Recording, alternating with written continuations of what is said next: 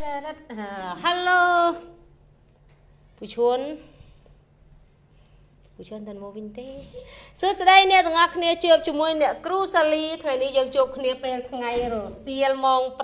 5 20នាទីហ្នឹងថ្ងៃនេះជាថ្ងៃអាទិត្យគឺជាថ្ងៃដែលអឺបងប្អូនទាំងអស់គ្នាកំពុងតែធ្វើដំណើរកំសាន្តទៅរមណីយដ្ឋានផ្សេងផ្សេងឬក៏នាំកូននាំក្រុមគ្រួសារទៅដើរលេងណាចាអញ្ចឹងថ្ងៃនេះយើងឆ្លៀតឱកាស ជួបគ្នាជាមួយអ្នកគ្រូសាលីចាឥឡូវនេះអ្នកគ្រូសាលីកំពុងតែនៅទីក្រុងប៉ោយប៉ែតថ្ងៃអង្គារយើងទៅអឺគេហៅអីខេត្តសៀមរាបវិញហើយអញ្ចឹងសួស្តីអ្នកទាំងអស់គ្នាដែលកំពុងតែចូលមកមើលឥឡូវនិងអ្នកទាំងអស់គ្នាដែលចូលមើលនៅពេលក្រោយថ្ងៃនេះអ្នកគ្រូសាលីមកផ្ដល់3តិចនិចដែលជា3តិចនិចនៅក្នុងការផ្លាស់ជីវិតអញ្ចឹងគ្រប់រឿងរ៉ាវដែលសាលីចែករំលែកជាមួយអ្នកទាំងអស់គ្នា គឺជារឿងរ៉ាវនៅក្នុងជីវិតពិតចា៎ជារឿងរ៉ាវនៅក្នុងជីវិតពិតដែលសាលីជួបជាប្រចាំហើយក៏បានភ្ញាក់រលឹកដឹងខ្លួនរហូតដល់ថ្ងៃនេះចង់យកមកចែកអ្នកទាំងអស់គ្នាបែប free free នៅលើមុខ Facebook នឹងតែម្ដងចាចឹងជឿថាថ្ងៃនេះបងប្អូនទាំងអស់គ្នាដែលកំពុងតែចូលមើលឥឡូវនិងបងប្អូនទាំងអស់គ្នាដែលចូលមើលមកតាមក្រោយចាថ្ងៃនេះ ជឿថាអ្នកទាំងអស់គ្នានឹងចង់បានអ្វីល្អល្អដើម្បីអឺជាការផ្លាស់ប្ដូរជីវិតឬក៏មានតិចនិចណាល្អល្អនៅក្នុងការដែលនាងខ្ញុំអាចចែករំលែកអ្នកទាំងអស់គ្នាបានចឹងជូនអ្នកទាំងអស់គ្នាជាមួយនឹង3តិចនិចនេះគឺជា3តិចនិចដែលផ្លាស់ជីវិតរបស់អ្នកគ្រូសាលីនិងជីវិតរបស់មនុស្សជាច្រើនទៀតដែលគាត់កំពុងតែត្រូវការការផ្លាស់ប្ដូរត្រូវការលទ្ធផលថ្មីក្នុងជីវិត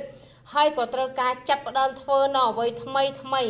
កុំឲ្យជីវិតយើងដូចដើម ចាជំរាបសួរបងតេវ៉ាន់ចាថ្ងៃនេះគឺយើងមកជួបគ្នាចឹងថ្ងៃនេះសម្រាប់ការផ្លាស់ប្ដូរដំបូងបើសិនជាថ្ងៃនេះអ្នកទាំងអស់គ្នាមើល live នេះ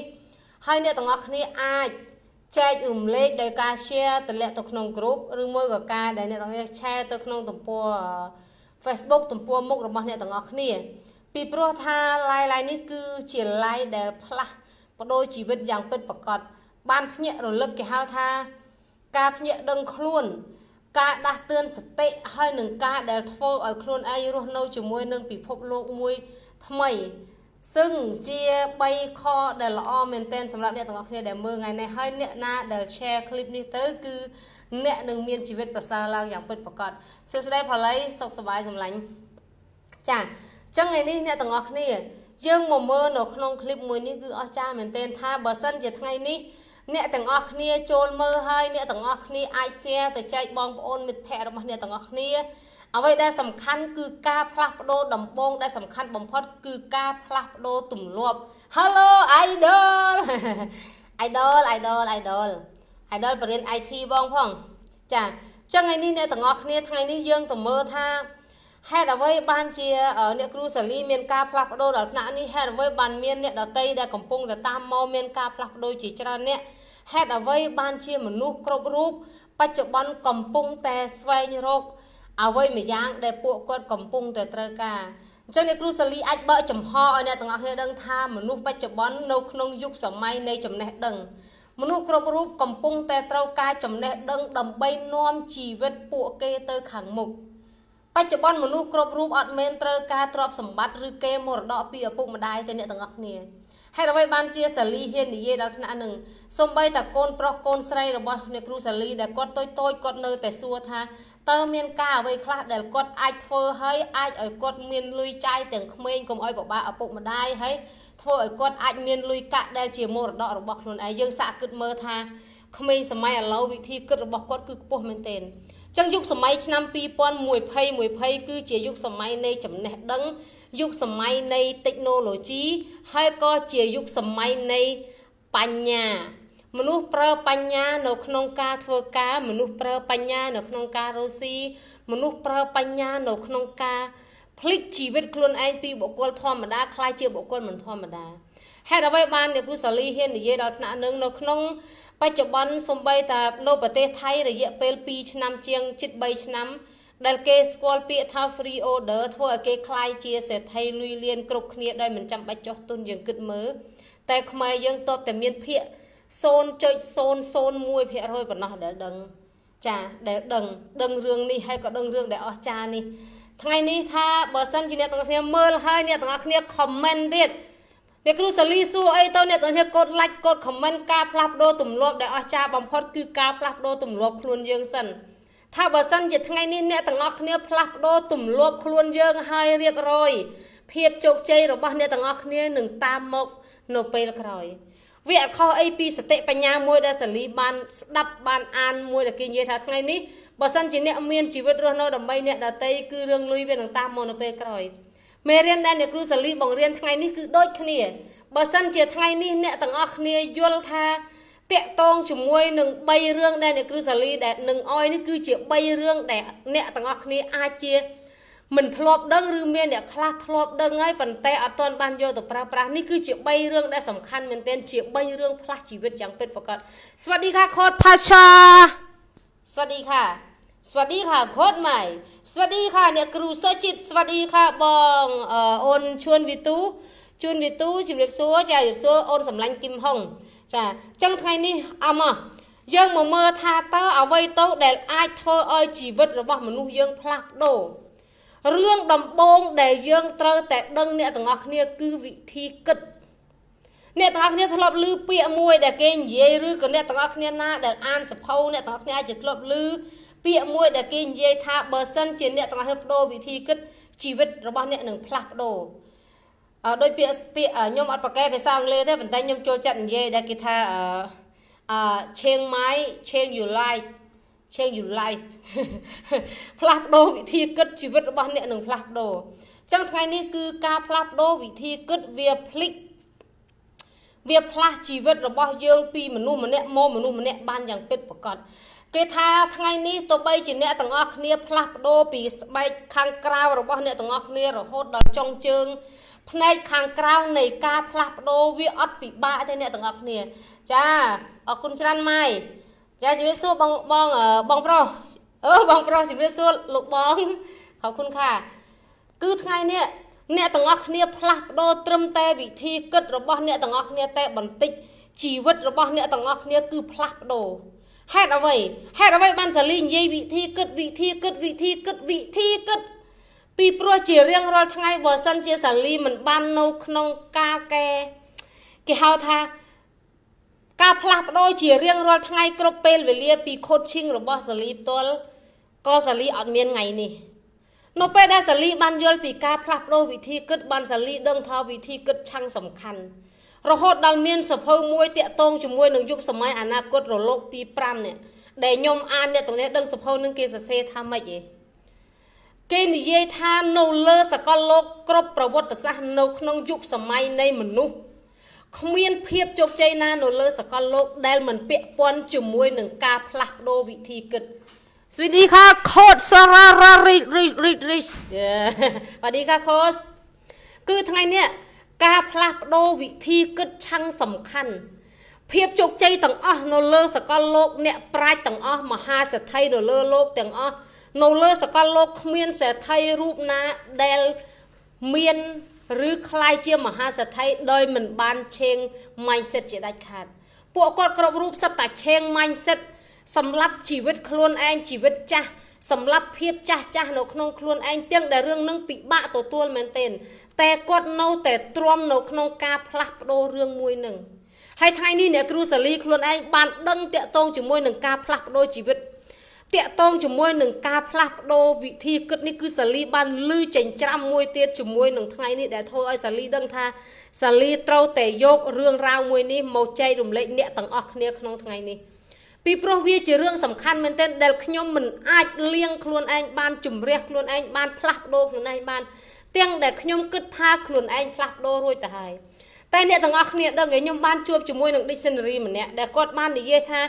ថ្ងៃនេះបើសិនជាអ្នកផ្លាស់ប្ដូរ90% 95% 99.9%ខ្វះតា0.001%ក៏អ្នកទាំងអស់គ្នាមិនអាចជោគជ័យក្នុងជីវិតអ្នកគ្រូនិយាយពេញចិត្តខ្ញុំណាអរគុណច្រើនបង គឺថ្ងៃនេះបើសិនជាអ្នកមិនព្រមឆេងខ្លួនឯងឲ្យបាន100%ទេជីវិតអ្នកមិនព្រមផ្លាស់ប្ដូរជាដាច់ខាតអ្នកគ្រូសាលីចែករំលែកជាមួយរឿងពេទ្យរបស់ជីវិតខ្លួនឯងអ្នកគ្រូសាលីអត់ខ្លាចនៅក្នុងការអាម៉ាស់មុខថ្ងៃនេះសាលីជាប់ក្នុងជីវិតខ្លួនឯង39ឆ្នាំទៅលើវិធីគិតការចងគំនុំ ការអាឃាតគេហៅខ្មែរយើងគេហៅអាឃាតគឺសាលីមានភាពស្អប់ខ្ពើមជាច្រើននៅក្នុងជីវិតមិនថាជាស្អប់ខ្ពើមជីវិតខ្លួនឯង មិនថាជាស្អប់ខ្ពើមបុគ្គលដែលជាទីស្រឡាញ់ដែលគាត់ស្រឡាញ់យើងស្មើជីវិតឬក៏ស្អប់ខ្ពើមសំបីថាធ្វើឲ្យគឺនិយាយថាយើងស្អប់ខ្ពើមនៅនៅគ្រប់ទង្វើដែលអ្នកដតីធ្វើដាក់យើងសំបីតែអ្នកគេងរួមខ្នើយជាមួយយើងซึ่งអ្វីដែលគាត់ធ្វើគាត់មិនដឹងខ្លួនឬក៏ពេលខ្លះវាជាកំហុសអចេតនាតែយើងមិនអាចអភ័យទោសយើងមិនអាចលុបលាងយើងមិនអាចបំភ្លេចរឿងរ៉ាវទាំងអស់នឹងបាន រហូតដល់ធ្វើឲ្យខ្ញុំនឹកឃើញពាក្យមួយដែលគេនិយាយថាចង់ចេះសម្រាប់អាចារ្យចង់បានផ្លែផ្កាយកភ្លឹងដិតគល់អានឹងជាពាក្យស្លោកដែលជាពាក្យស្លោកមួយបើសិនជាយើងអត់បានពិចារណាឲ្យលំអិតយើងអត់ដឹងថាពាក្យនឹងមានន័យថាម៉េចទេថ្ងៃនេះសាលីយល់ហើយថ្ងៃនេះបើសិនជាយើងចង់ជោគជ័យក្នុងជីវិតចូលសម្លាប់ទម្លាប់ចាស់ចាស់របស់ខ្លួនយើងចូលគឺសាលីឈឺចាប់មែនទែននៅក្នុងការដែលខលតរមនុស្សម្នាក់ហើយនិយាយថាសំទោសណា ពីថ្ងៃនេះតទៅខ្ញុំលែងខឹងជាមួយអ្នកឯងគឺយើងនិយាយអត់ចេញអ្នកទាំងអស់គ្នាតែយើងចូលចិត្តប្រាប់ខ្លួនឯងថាអឺខ្ញុំអភ័យទោសឲ្យអ្នកឯណាខ្ញុំអភ័យទោសឲ្យអ្នកឯណាប៉ុន្តែសឹងរឿងរ៉ាវនឹងវាផ្ដោតនៅក្នុងគំនិតដ៏សែនជ្រៅរបស់យើងធ្វើឲ្យយើងធ្វើឲ្យយើងអ្នកខ្លាយជាគំនុំអាឃាតរហូតដល់ចង់ជីវិតខ្លួនឯងធ្វើឲ្យខ្លួនឯងទៅមុខអត់រួចទៅមុខដូចជាជោគជ័យតែមិនជោគជ័យទៅមុខនៅក្នុងរឿងរ៉ាវនឹងល្អមែនទែនតែដូចជាមិនមែន នេះគឺជាជីវិតដែលអ្នកគ្រូសាលីជួបពេញពេញជាង10ឆ្នាំជិត20ឆ្នាំมันអាចដោះខ្លួនឯងបានតែថ្ងៃនេះមានរឿងរ៉ាវដែលអាចដោះខ្លួនឯងបានប្រឡែងខ្លួនឯងបានរហូតយកមកឲ្យអ្នកទាំងអស់គ្នាគឺ change mindset change your life ផ្លាស់ប្ដូរវិធីគិតជីវិតរបស់អ្នកនឹងផ្លាស់ប្ដូរយ៉ាងពិតប្រាកដមិនថាអិសរភាពផ្នែកផ្លូវចិត្តអិសរភាពផ្នែកគំនិតដែលយើងតែងមានការគុំគួនអិសរភាពនៅក្នុងការញញឹមឲ្យខ្លួនឯងមានភាពស្រស់ស្អាត អិសរភាពក្នុងការអោយរយៈពេលខ្លួនឯងកន្លះថ្ងៃឬក៏3ម៉ោងឬក៏2ម៉ោងដើម្បីទៅញ៉ាំកាហ្វេជាមួយមិត្តភ័ក្តិអិសរភាពនៅក្នុងការដែលនាំកូននាំគ្រួសារទៅដើរដំណើរកំសាន្តកន្លះថ្ងៃឬមួយថ្ងៃនៅក្នុងរមណីយដ្ឋានដែលភរិយាយើងចូលចិត្តដែលស្វាមីយើងចូលចិត្តគឺយើងបិទជីវិតខ្លួនឯងរហូតដល់ខ្លួនឯងមានគ្មានអិសរភាពអ្នកទាំងអស់គ្នាជឿទេថាមានមនុស្សប្រមាណភាគរយដោយសាលីនិយាយមែនឬអត់ មានមនុស្សប្រមាណភាគរយដែលនាំប្រពន្ធឬនាំស្វាមីទៅលេងទាំងដែលដួងចិត្តខ្លួនឯងមិនបានទៅឬមិនចង់ទៅទៅឲ្យឃើញតែរូបស្នាមញញឹមខ្លែងខ្លាយថត selfie ផុសជាមួយគ្រួសារតែបានសួរបេះដូងដ៏ជ្រៅរបស់យើងអត់ថាយើង ពិតជាមានអារម្មណ៍និងមានសេចក្តីសុខមួយនោះពិតឬអត់នៅក្នុងការដែលយើងនាំក្រុមគ្រួសាររបស់យើងទៅដំណើរកំសាន្តទៅដើរលេងប្រើរយៈពេលខ្លីៗនៅជាមួយកូនជាទីស្រឡាញ់ប្រើភាសាល្អល្អនៅជាមួយពួកគាត់តើយើងចេះធ្វើឬយើងបានធ្វើវាហើយឬនៅហេតុអ្វីបានខ្ញុំយល់ពីរឿងនេះច្បាស់ម្ល៉េះពីព្រោះកន្លងមកជីវិតរបស់សាលីខ្លួនឯងគឺសិតតែ គេហៅថាសំបីតែខ្ញុំទៅជាមួយគ្រួសារខ្ញុំគឺខ្ញុំពេញចិត្តមែនទែននៅក្នុងការទៅជាមួយកូនប៉ុន្តែអារម្មណ៍ដ៏ជ្រៅរបស់ខ្ញុំខ្ញុំអត់ចង់ទៅខ្ញុំអត់ចង់ទៅខ្ញុំអត់ចង់ទៅជាមួយអ្នកទាំងអស់គ្នាគឺយើងមិនព្រមដោះលែងខ្លួនឯងពីព្រោះអីការចង់គំនុំអាឃាតភាពស្អប់ខ្ពើមនឹងវានៅក្នុងគំនិតរបស់យើងចឹងថ្ងៃនេះអ្នកគ្រូសាលីផ្ញើអ្នកទាំងអស់គ្នាជាមួយនឹងការផ្លាស់ប្ដូរគំនិត ចាបងវិសាលអរគុណច្រើនជំរាបសួរបងជំរាបសួរអូនវីអាតាចាហើយជំរាបសួរតុងតុងបងតុងតុងប៉ាតុងតុងហើយសួស្ដីអូនអឺអូនភួងនរិទ្ធលោកទូរស័ព្ទដាច់អត់អូនថ្ងៃនេះមកចឹងនេះគឺតែគ្រាន់តែប្រូក្បាលប្រូក្បាលទាំងអស់នេះអស់ប្រហែលនាទីហើយអស់10នាទីអះមកចាប់ផ្ដើមខទី1យើងផ្លាស់ប្ដូរអ្វីខ្លះបន្ទាប់ពីយើងផ្លាស់ប្ដូរគំនិតហើយតើធ្វើយ៉ាងម៉េចឲ្យជីវិតយើងជោគជ័យ ផ្លាស់ប្ដូរទី1ដែលខ្លាំងបំផុតគឺការដោះលែងខ្លួនឯងថ្ងៃនេះអ្នកត្រូវតែដោះលែងខ្លួនឯងឲ្យខ្លួនឯងមានសេរីភាពពីចំណងចាស់ចាស់មានសេរីភាពក្នុងការគិត មានសេរីភាពក្នុងការពង្រីក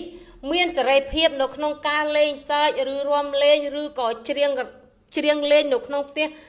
ឬក៏ធ្វើអ្វីដែលអ្នកពេញចិត្តតើអ្នកបានធ្វើវាហើយឬនៅ អ្នកគ្រូសាលីបានភ្ញាក់ជាមួយនឹងខទី1នេះខ្លាំងមែនទែនសម្រាប់ជីវិតខ្លួនឯងថ្ងៃមួយសាលីបានជួបជាមួយអ្នកគ្រូរបស់សាលីសាលីឃើញគាត់រំលេងឃើញគាត់រំស្អាតមែនទែនគឺសួរថាគាត់រំស្អាតស្អាតមែនទែនតែខ្លួនឯងចង់រំអត់ចង់មែនទែនតែរំអត់កើតទី1ខ្មាស់ទី2គឺយើងអត់ដែលរំយើងអត់ដឹងថារំធ្វើម៉េចទេតែនៅក្នុងចិត្តជ្រៅជ្រៅរបស់ខ្លួនឯងបានដឹងថាការពិតខ្ញុំធ្លាប់សបាយពីកុមារភាពខ្ញុំធ្លាប់សើច ខ្ញុំធ្លាប់ញញឹមខ្ញុំអត់ដែលបាច់ចំណាយលុយនៅក្នុងការចិញ្ចឹមខ្លួនឯងខ្ញុំមិនដែលបាច់ចំណាយលុយក្នុងការដកដង្ហើមតែជីវិតវ័យកុមាររបស់ខ្ញុំកំពូលមានក្តីសុខ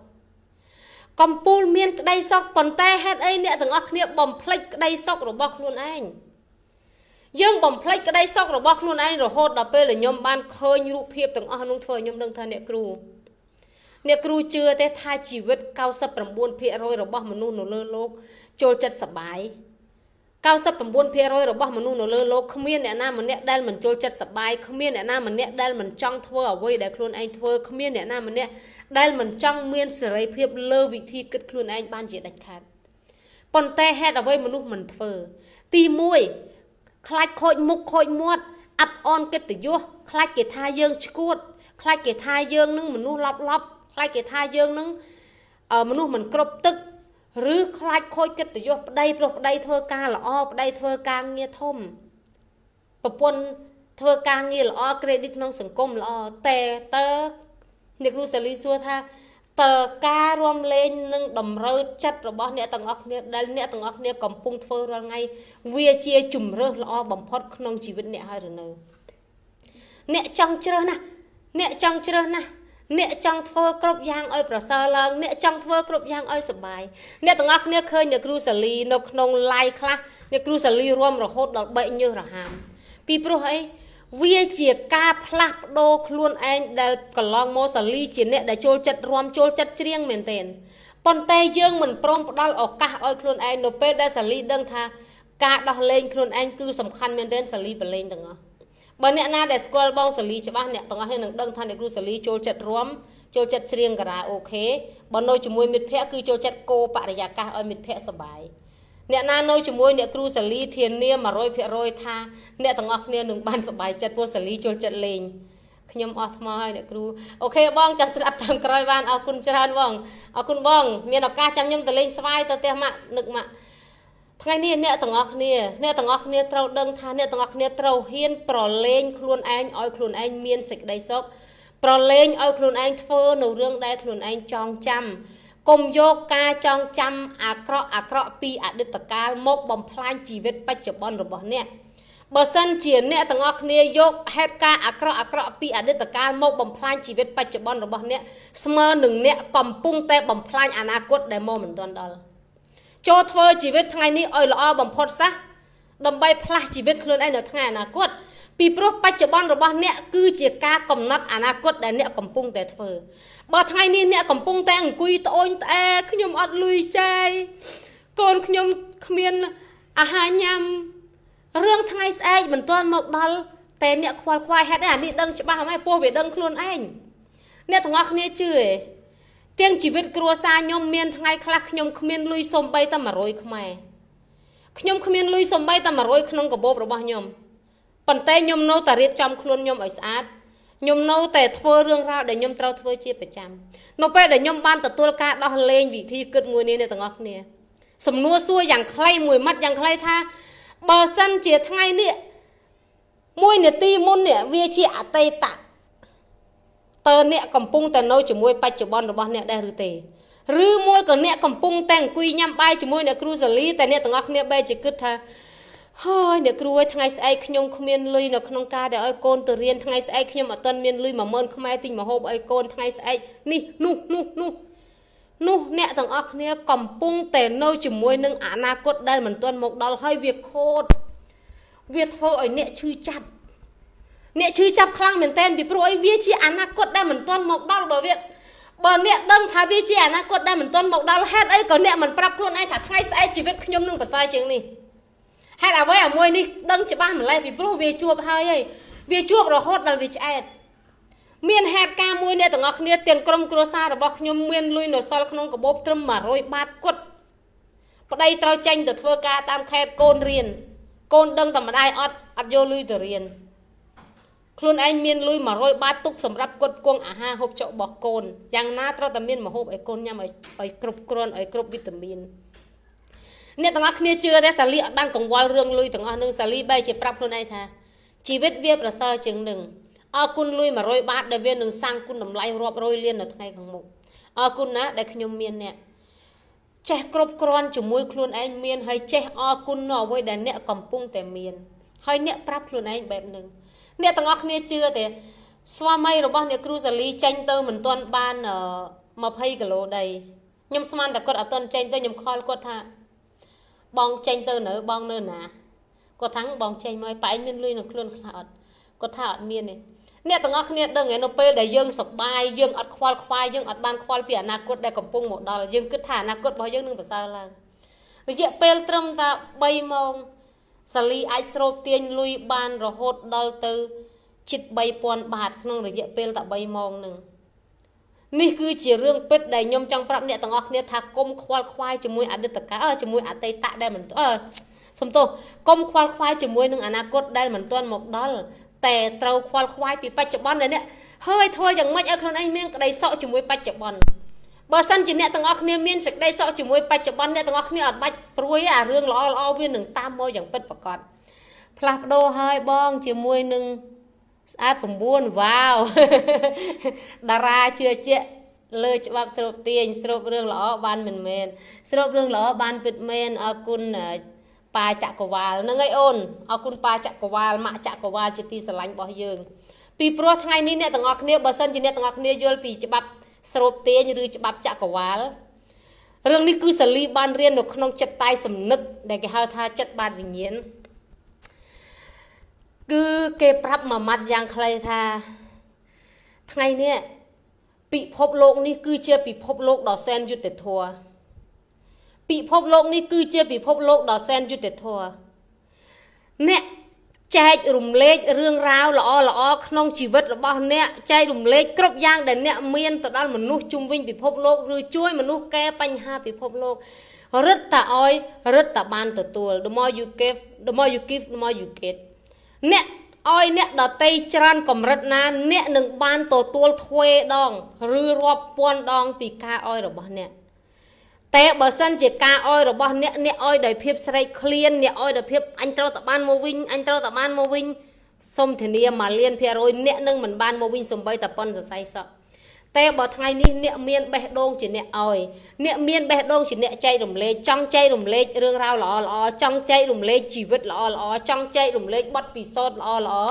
ចង់ចែករំលែកឲ្យមនុស្សបានភ្ញាក់រលឹកថាជីវិតពួកគាត់កំពូលមានក្តីសុខ បង្រៀនគាត់ឲ្យគាត់ចេះគ្រប់គ្រាន់នៅអ្វីដែលគាត់មាន នោះជីវិតនឹងផ្លាស់ប្ដូរមិនផ្លាស់ប្ដូរត្រឹមតែអ្នកតែផ្លាស់ប្ដូរអ្នកដែលកំពុងស្ដាប់អ្នកគឺមានផលមហាសាលចាសួស្តីអូនស៊ុំប៊ុនរងហើយសួស្តីចេះសចាចឹងថ្ងៃនេះខទី1បានកន្លងផុតណាចាចូលដោះលែងខ្លួនឯងឲ្យមានសេរីភាពហើយធ្វើនៅអ្វីដែលអ្នកពេញចិត្តនឹងធ្វើកុំឲ្យសង្គមនិងបរិយាកាសបច្ចុប្បន្នជាអ្នកកំណត់ជីវិតរបស់ យើងជាដាច់ខាតចូលងើបមកកំណត់ជីវិតខ្លួនឯងហើយទទួលខុសត្រូវជីវិតខ្លួនឯងចាទី2អ្នកត្រូវតែផ្លាស់ប្ដូរអ្នកត្រូវតែផ្លាស់ប្ដូរអឺផ្លាស់ប្ដូរមួយទៀតគឺការផ្លាស់ប្ដូរទម្លាប់មួយដែលអស្ចារ្យមែនទែនគឺការផ្លាស់ប្ដូរថាថ្ងៃនេះបើសិនជាអ្នកហ៊ានផ្លាស់ប្ដូរទម្លាប់អ្នកហ៊ានផ្លាស់ប្ដូរវិធីគិតចាស់ចាស់ជីវិតរបស់អ្នក នឹងផ្លាស់ប្ដូរដូចគ្នា ពីព្រោះអីការផ្លាស់ប្ដូរទម្លាប់ខ្ញុំជួបជាមួយបុគ្គលមួយរូបដែលគាត់គឺជាបុគ្គលដែលគេងយប់ជ្រៅតែគាត់គេងខ្ទង់ម៉ោង12ឬម៉ោង1យប់ជារៀងរាល់ថ្ងៃហើយគាត់ងើបម៉ោង9ជិតម៉ោង10ព្រឹកពីព្រោះគាត់អត់បានធ្វើការងារពេលព្រឹកទេនៅពេលហ្នឹងគឺជីវិតរបស់គាត់ទម្លាប់គេងមួយថ្ងៃ8ទៅ10ម៉ោងជាមនុស្សធំមនុស្សចំណាស់ប៉ុន្តែ នៅពេលដែលថ្ងៃមួយគាត់បានភ្ញាក់រលឹកតាក់ទងជាមួយនឹងការផ្លាស់ប្ដូរគាត់បែរជាមិនបានរកវិធីផ្លាស់ប្ដូរដែលត្រឹមត្រូវគាត់ធ្លាប់គេងងើបម៉ោង9ហេតុអ្វីបានថ្ងៃនេះគាត់ចង់ផ្លាស់ប្ដូរពុបគាត់ងើបមកអឺគាត់ងើបពីគេងម៉ោង5ព្រឹកការផ្លាស់ប្ដូរទម្លាប់មិនមែនឲ្យអ្នកទាំងអស់គ្នាផ្លាស់ប្ដូរពីបាត់ដៃមកក្នុងដៃភ្លាមភ្លាមទេ អ្នកទាំងអស់គ្នាត្រូវរកវិធីសាស្ត្រនៅក្នុងការផ្លាស់ប្ដូរអ្នកទាំងអស់គ្នាជឿថាការផ្លាស់ប្ដូររបស់អ្នកទាំងអស់គ្នាមួយថ្ងៃត្រឹមតែ10នាទីអ្នកទាំងអស់គ្នាអាចផ្លាស់ប្ដូរឲ្យជីវិតរបស់អ្នករីកចម្រើនមួយថ្ងៃរហូតដល់ទៅ3ម៉ោងចាការផ្លាស់ប្ដូររបស់អ្នកមួយថ្ងៃ10នាទីបងអាចពង្រីកភាពរីកចម្រើនរបស់អ្នកមួយថ្ងៃ3ម៉ោងហើយបើសិនជាយើងធ្លាប់គេងភ្ញាក់ម៉ោង9យើងអាចដាក់នាឡិកាយើងភ្ញាក់ម៉ោង8កន្លះឬម៉ោង8:40នាទី យើងត្រូវមានការផ្លាស់ប្ដូរនៅអត្រារបស់វាឲ្យមានការកំណត់ច្បាស់លាស់កុំឲ្យធ្លាប់គេងម៉ោង9តែងើបមកផ្លាស់ប្ដូរខ្លួនឯងម៉ោង5អានឹងមិនមែនជារឿងត្រឹមត្រូវអ្នកទាំងអស់គ្នារឿងដែលត្រឹមត្រូវអ្នកទាំងអស់គ្នាត្រូវដាក់កម្រិតនៃការផ្លាស់ប្ដូរ1 2 3 4ទម្លាប់គេងយប់ជ្រៅភ្ញាក់ពេលថ្ងៃមែនអត់ថ្ងៃនេះអ្នកទាំងអស់គ្នាកាត់បន្ថយការគេងធ្លាប់គេងម៉ោង1មែនអត់ អាយើងមកគេងម៉ោង12:40អូខេអត់ដើម្បីស្អែកឡើងយើងបានភ្ញាក់ម៉ោង9ម៉ោង8:40យើងផ្លាស់ប្ដូរមួយថ្ងៃ20នាទីក៏បានដែរជីវិតរបស់អ្នកទាំងអស់គ្នានឹងរីចម្រើនហើយរុងរឿងបំផុតបើសិនជាថ្ងៃនេះអ្នកហ៊ានផ្លាស់ប្ដូរទម្លាប់របស់អ្នកមួយថ្ងៃតែ20នាទីចានេះគឺជារឿងពិតនៅក្នុងផ្នែកវិទ្យាសាស្ត្រចាទី3អ្នកទាំងអស់គ្នាត្រូវតែព្រមយកខ្លួនឯងឲ្យคล้ายជាមនុស្សថ្មីអ្នកទាំងអស់គ្នាត្រូវតែឲ្យខ្លួនឯងคล้ายជាមនុស្សថ្មី មិនទម្លាប់អានសភៅមែនអត់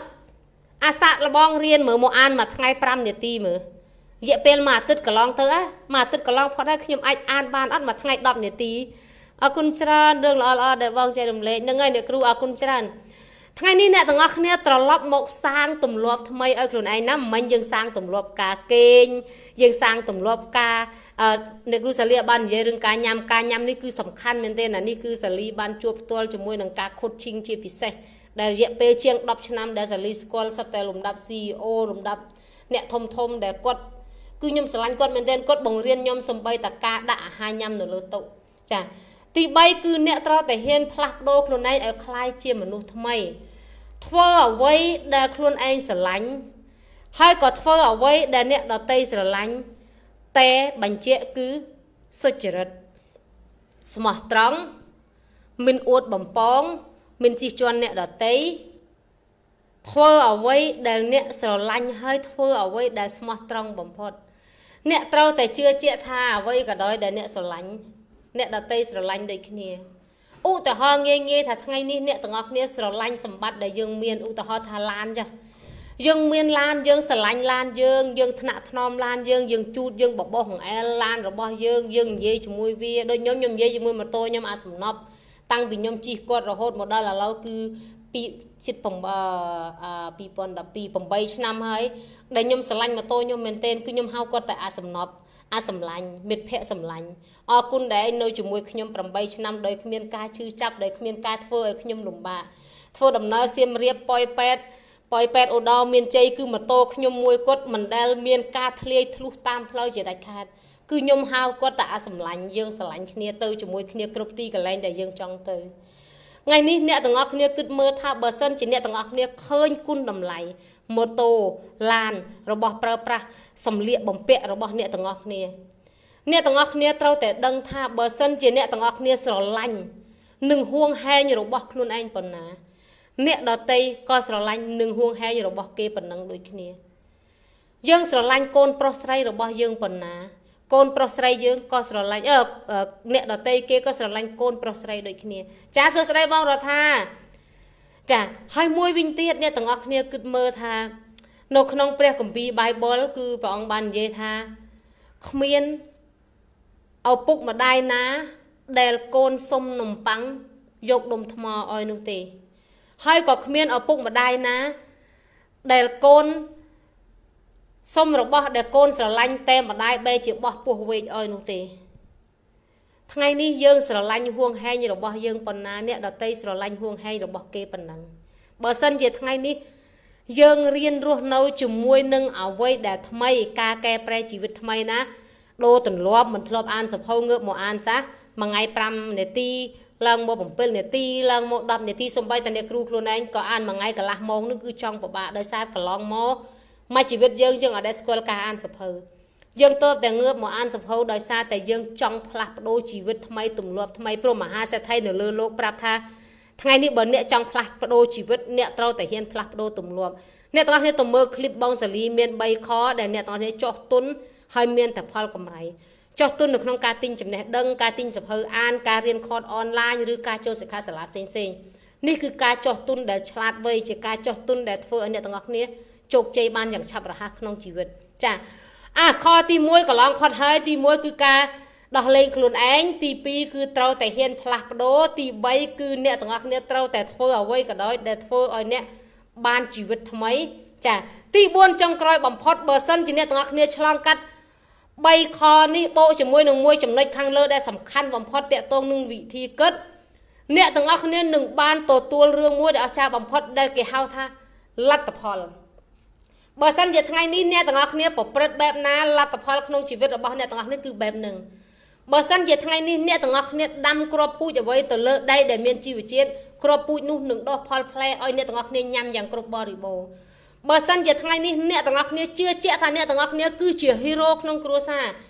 អ្នកទាំងអស់គ្នាជឿជាក់ថាអ្នកទាំងអស់គ្នាជាមេធីមដ៏អស្ចារ្យអ្នកទាំងអស់គ្នាជឿជាក់ថាអ្នកទាំងអស់គ្នាគឺជាអ្នកលក់ដ៏អស្ចារ្យអ្នកទាំងអស់គ្នាជឿជាក់ថាអ្នកទាំងអស់គ្នាជាអ្នកសាងដ៏អស្ចារ្យ អ្នកទាំងអស់គ្នាជឿជាក់ថាជីវិតរបស់អ្នកកើតមកដើម្បីឈ្នះ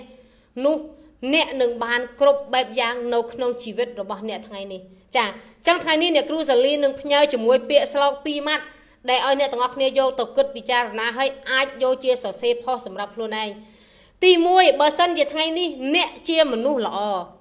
ចក្រវាលនឹងនាំមនុស្សល្អល្អមកឲ្យជួបអ្នកដោយអូតូម៉ាទិកហើយអូតូម៉ាទិក ហើយមនុស្សដែលមិនល្អនឹងត្រូវកចាត់ចេញពីជីវិតរបស់អ្នកតែបើសិនជាថ្ងៃនេះអ្នកជាមនុស្សដែលមិនល្អចក្រវាលនឹងទាញយកមនុស្សល្អល្អឲ្យចេញផុតពីជីវិតរបស់អ្នកដូចគ្នាអញ្ចឹងថ្ងៃនេះជីវិតរបស់អ្នកអ្នកមានសិទ្ធិនៅក្នុងការជ្រើសរើសថាអ្នកជាមនុស្សបែបណា